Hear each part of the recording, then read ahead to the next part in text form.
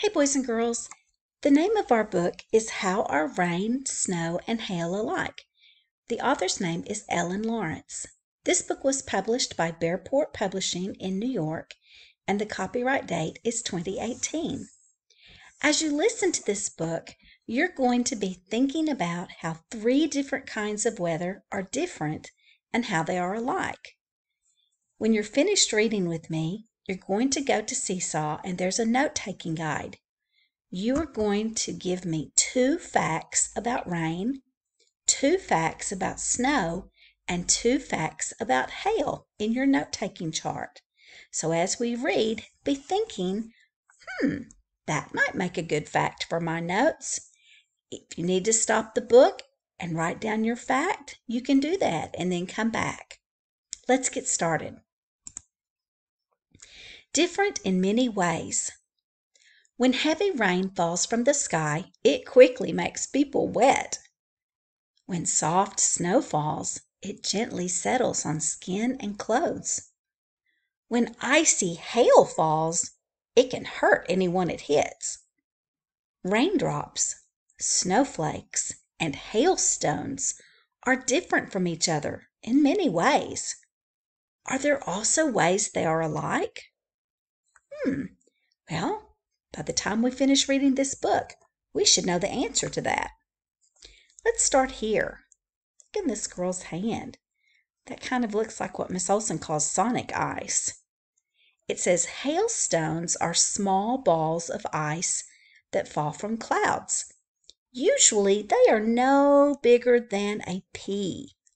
In 2010, however, a giant hailstone measuring about eight inches across, fell in the state of South Dakota. Wow, that's a big hailstone. It all begins with water. One way in which rain, snow, and hail are alike is that they all fall from the sky. How does this happen? It all begins with the water in the oceans, rivers, lakes, and ponds. As the sun warms the water, some of it changes. It turns from a liquid into a gas called water vapor. The vapor floats up into the air. It's not possible to see water vapor, yet it is in the air all around us. Every second of every day, some of the earth's water is changing into vapor. And this tells about an experiment you can try. Pour some water onto the sidewalk on a warm sunny day. Watch what happens to the water. It looks like it's disappearing, but it isn't. The water is changing into invisible water vapor. Making clouds. The water vapor soon rises high above the earth where the air is cold. The cold air changes the vapor to turn into tiny water droplets that stick to bits of dust floating in the air. These droplets join with billions of others to form clouds. Yeah, here's another experiment to try. Take a soda can from the refrigerator. After a few minutes, you will see drops of water on the outside of the can. How did this happen? The water vapor in the air touched the cold can and changed it back into liquid water. Water can change from a liquid into a gas and then back to a liquid again. How cool! Making rain. Inside a cloud, the tiny water droplets join together to make bigger drops. Soon the drops get even bigger and heavier. Then they fall back to earth as raindrops.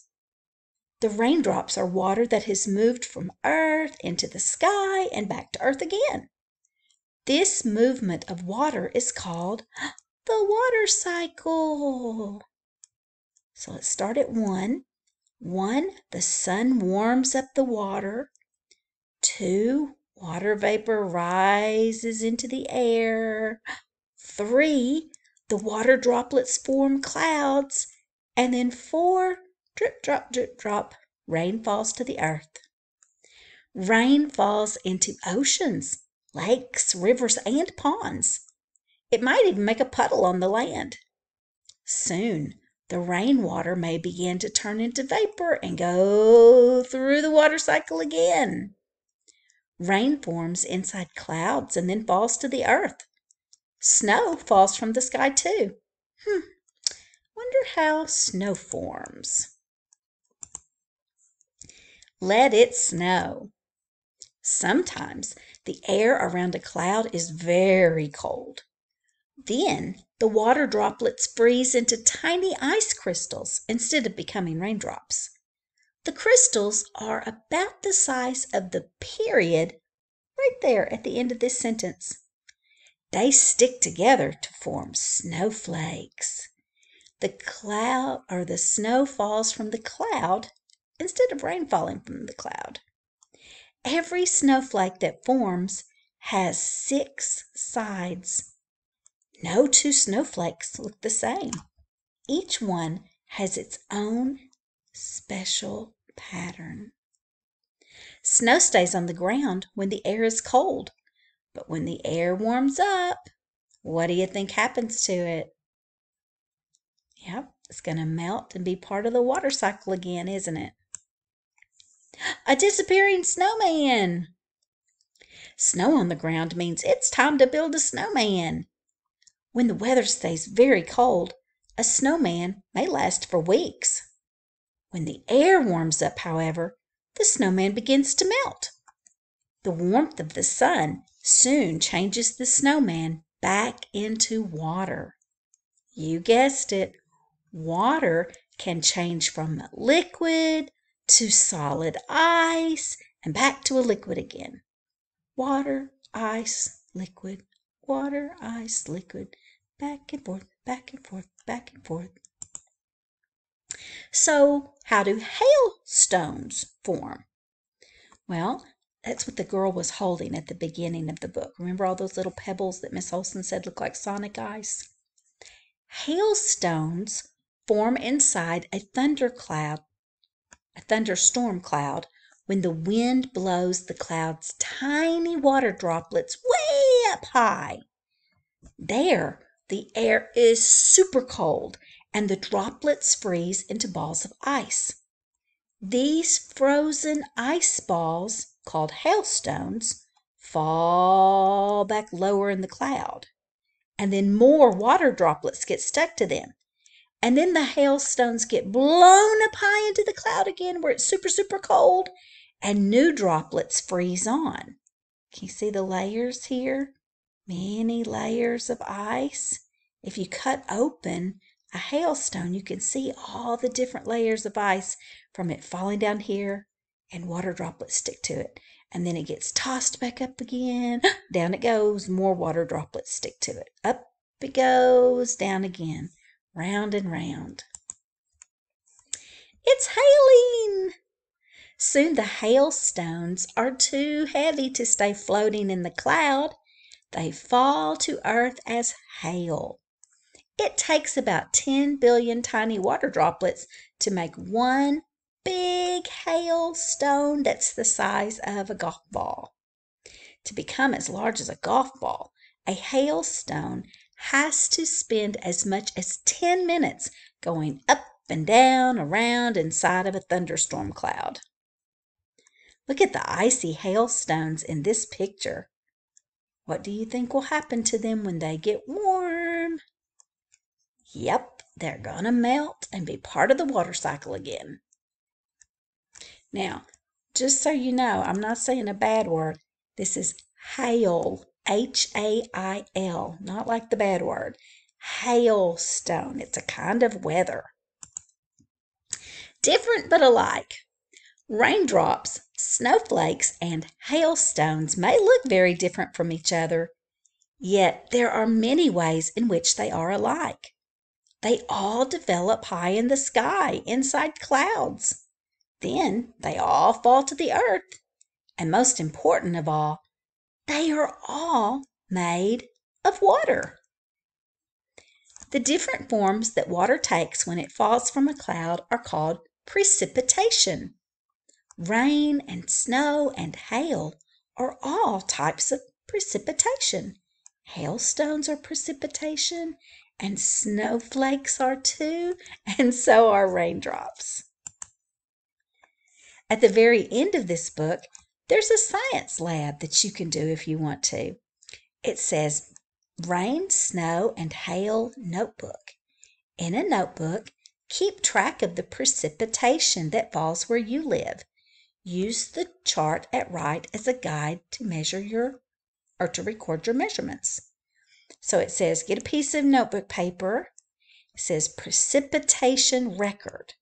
And then you're going to make a column of the date. And then you're going to draw a picture of the kind of precipitation there was. And then a measurement. So, hmm, how are we going to get this measurement? It says how to measure. Well, for rain, it says leave a clear glass jar outside. Whenever it rains, use a ruler to measure how much water fell in the jar. So if there's this much water, you look at the ruler and you go, okay, it's at one inch. So you would write one inch right there. For snow, it says use a ruler to measure the snow's depth in a place where the ground is flat. Some of you may have done that the last few weeks when it was so snowy to see how much was in your yard. And then for hail, you're going to use your ruler to measure the width. So from side to side, the width of one hailstone to see how large it is. Awesome, huh? Also, in this book, there are some science words. There's a glossary that explains some of the words in the book, like gas. We talked about the water vapor, that's a gas. It explains what the hailstones are. It explains that a liquid is something that flows and changes its shape to fit whatever container it's placed in. It tells what a solid is. A solid is something that has a definite size and shape. Like when water becomes ice, it has a shape. Then it's talking about our water cycle, and it explains that water vapor is liquid water that has changed into a gas. Pretty cool, isn't it? I love science. All right, guys, that is all of that book. Go to your seesaw and give me two facts about raindrops, two facts about snowflakes, and two facts about hailstones. I can't wait to look at your notes. I'll talk to you soon. Bye bye.